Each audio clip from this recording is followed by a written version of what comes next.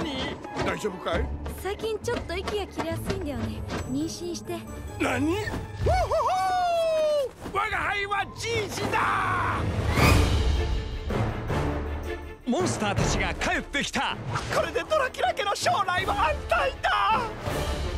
ビデオチャットは覚えた？覚えたとも。電話とボタンに苦しみながらな。モンスターとは何かを教えるパパ今どこ？ホテルの外でちょっとそのバーベキューだ。ただじゃおっかないからね。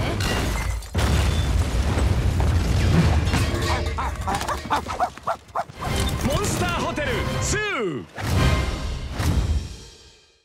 皆さんこんにちは川島美香です、えー、みんなで楽しめるハートウォーミングな映画になっています。ぜひ映画館に見に来てください